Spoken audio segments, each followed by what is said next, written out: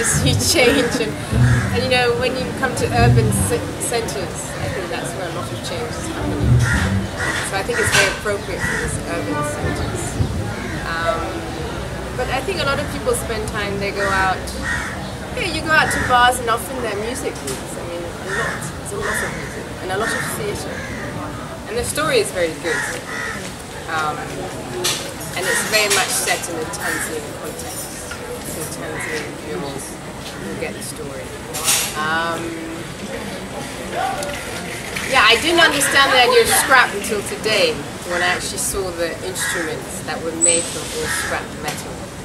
So that was a, an, an, added element, which was good. Um, I think that the best thing about the idea, because we still actually haven't seen the opera yet, but the, about the idea is about introducing new forms of music, new ways of expression, I think, to Tanzanians and to young Tanzanians. Um, and the way they're going to combine uh, rap, uh, tarab, all the different music backgrounds you have in Tanzania, kind of brought together in this opera, from what I understood from the slideshow one of the uh, the key things is that uh, opera as a, as an art form is not something that is very is very widespread. It's not something that is very well known in Tanzania. So I'd, I'd say that the first answer is that I expect to see something new. I'd expect something novel. I'd expect something that has not been done before. But at the same time, like with all good artistic products, it has to be something which is familiar, new but familiar. I think the familiarity with something like this will come from the fact that the, the, the musicians and the people who are putting in the music performances come from a group that is very well known in Tanzania, that has a long history in Tanzania. And somehow they've disappeared. There was a time when Tatu Nane were very well known. And, uh, and um, personally speaking, I haven't heard anything from Tatu Nane for many years. So this is the one thing that I think will be a very exciting thing is to see the return, if you like, of, of this group. When it comes to the actual concept, um, the idea of, of, of, of, setting this in the world of, of scrap, scrap metal, I think there's an analogy there that can be made with, with Tanzania. Um, I think that there's a, it's a very good sort of image, imagery of something good coming from, from scrap. I think is a very nice one.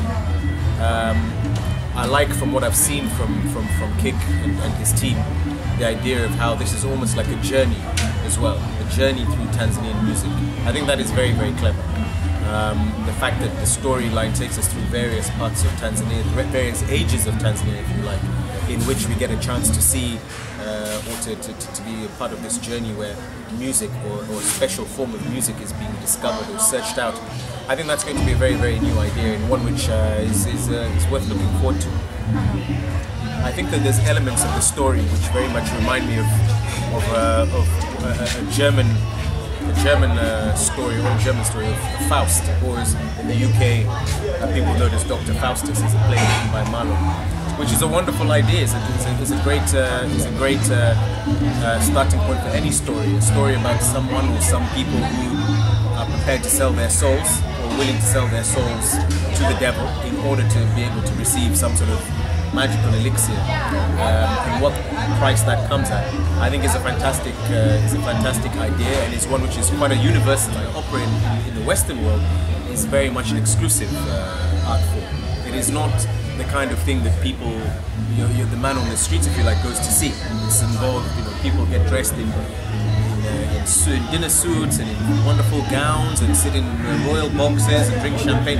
I don't think that is something that, that, that, should work or can even work in Tanzania. This is really going to be the kind of performance that actually should draw in people from very ordinary walks of life. I imagine if it's to be a success that he must have it in very public areas, whatever is the most public area in, a, in Rukwa or in Iringa or in Mbeya, if it's the church, if it's the football stadium, this is where the performance needs to be put on. And I think that once he's able to, to, to pull that off in the in the grandest of, of settings in terms of style, in, terms of size, sorry, then really he has to put on, or this thing has to put on quite a visual performance. I think you've got to really uh, make sure that a performance uh, is, is put on that will make people's eyes open wide from the very, very, very beginning.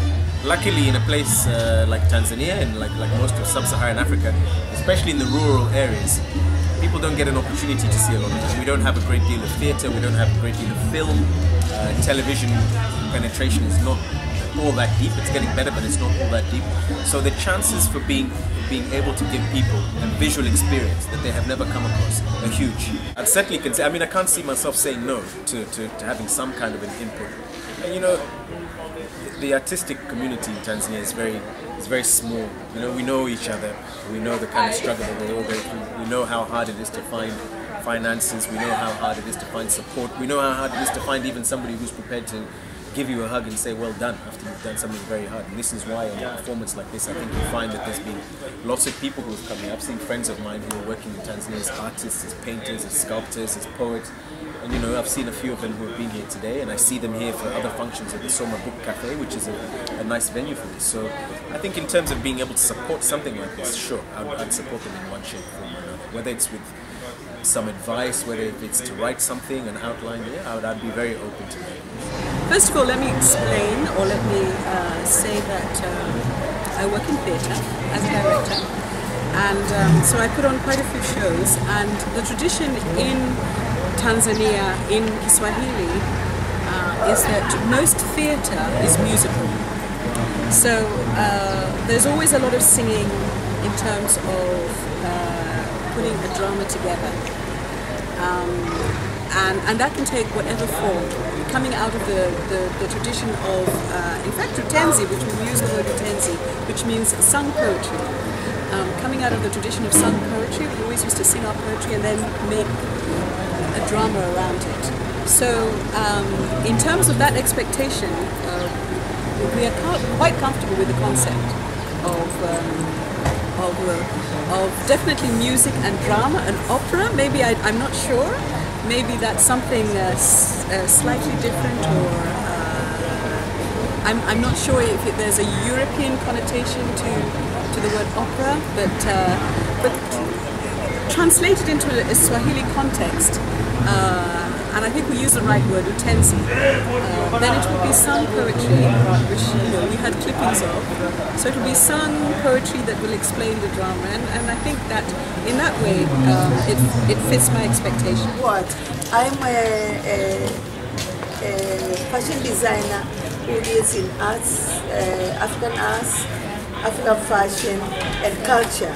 And to me, this is where I belong and so I really need something like that. Yeah, I think when it comes and when they start, I'll be one of their um, uh, I, would, I, I don't uh, supporter in meaning that I will publicize it. I'll tell to my friends, and uh, I'll be a,